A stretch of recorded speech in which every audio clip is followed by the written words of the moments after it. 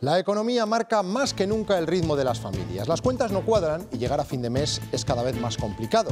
Algo tan básico como la alimentación se dispara en casi todos los productos. La OCU ha hecho balance de una situación que constatan los clientes de los supermercados y del comercio de barrio.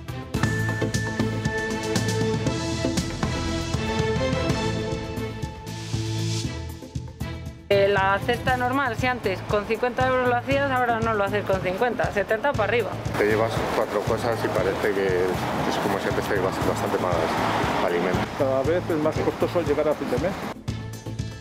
Cada familia se gastará de media 500 euros al año más en la cesta de la compra. La subida de los precios afecta al 84% de los productos del mercado. Los que más, los aceites de girasol y de oliva. Solo bajan el solomillo de cerdo, las cebollas y los artículos de higiene. Buenas noches. Mientras los propietarios de las gasolineras esperan con incertidumbre que Hacienda les devuelva esta semana los 5 millones y medio de euros que hasta el momento han tenido que adelantar para hacer frente a los descuentos del Ejecutivo. Muchas de estas gasolineras se juegan su supervivencia. Toman como referencia el año 2021, que fue un año catastrófico en ventas, y encima sobre esa parte solo nos adelantan un 90%, con lo que realmente el ingreso que nos van a hacer seguramente no cubra ni el 50 o el 55% de lo que nosotros estamos adelantando ahora mismo. También hoy hemos conocido los datos del paro, que ha bajado levemente en Castilla y León y en el conjunto del país. La nota negativa la ponen la industria y el empleo juvenil, que se incrementa.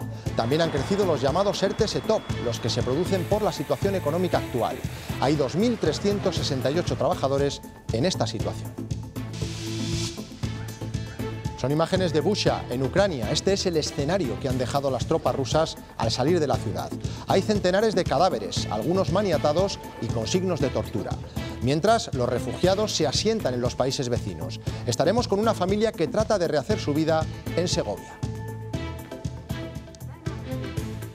En vísperas de la Semana Santa conoceremos cómo se van preparando las ciudades de la comunidad para un acontecimiento que se echaba de menos y conoceremos a Ana Rey, una de las tres únicas imagineras que hay en España.